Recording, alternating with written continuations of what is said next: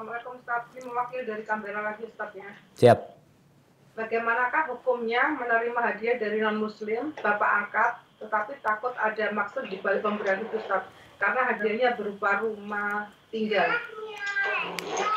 Nah, jadi kalau bicara hadiah, hadiah itu memang akan menimbulkan cinta dan kasih sayang.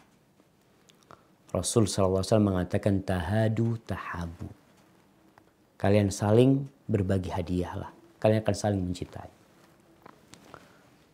Terus bagaimana kalau hadiah itu dari non-muslim? Apakah kita boleh menerimanya? Kalau bicara boleh, boleh-boleh aja menerima. Tapi kalau ditakutkan ada udang di balik batu, tolak. Pernah Rasul SAW itu tidak menolak hadiah. Tapi pernah kejadian ada orang yang kasih hadiah sama Nabi SAW. Lalu Nabi membalasnya. Tapi balasannya itu menurut orang itu mas ya kurang banyak lah. Akhirnya dia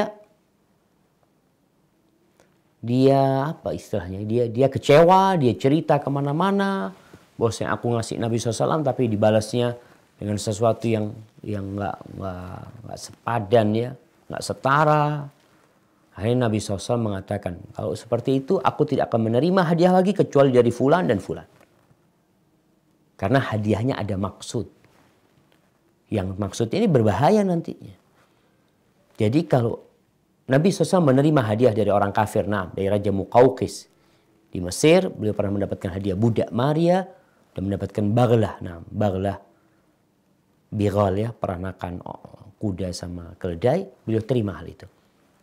Tapi kalau anti takut nanti akan bermasalah, akan ada maksud-maksud lain yang menyebabkan anti bisa menjual agamanya atau yang lainnya, maka tolak.